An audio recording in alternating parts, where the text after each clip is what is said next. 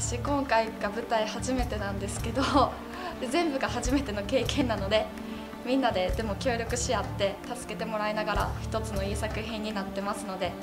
普段やらない芝居なので、えっと、すごく楽しい新鮮な気持ちで挑んでいます。稽古の時からもそうですけど全身全霊を込めて、えー、挑んでいたのでこのパワーを舞台本番でも出したいと思います。今回のこのアートな舞台芸術というのには初挑戦なので全神経を尖らせて身体表現言葉音楽全部を一から丁寧にやっていきたいと思います。舞台「孵化する偏愛」皆さんぜひ見に来てください。